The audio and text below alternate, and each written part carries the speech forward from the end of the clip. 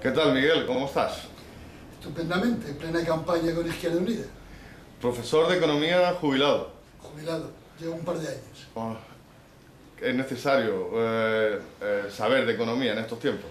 Es imprescindible para comprender la realidad. Pero yo estoy fundamentalmente trabajando en el ámbito, actualmente, de eh, la economía social, la vinculación de Izquierda Unida con las economías deprimidas y con los trabajadores en situación de exclusión social y es en donde estoy dedicando mucha parte de mi tiempo. A eso y también a dirigir una cooperativa de consumo ecológico, Almocafre, que la conoce en Córdoba toda la ciudad.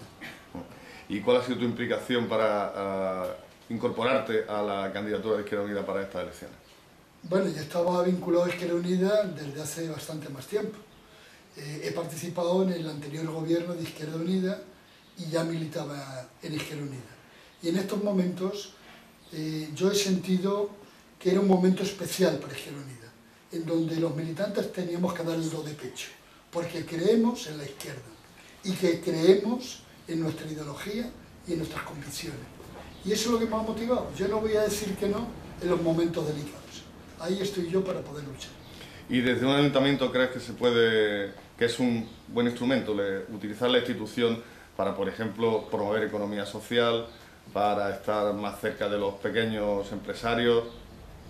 Vamos, creo que es el mejor instrumento. Es el instrumento más cercano a los ciudadanos y el que tiene más potencia de actuar en la sociedad.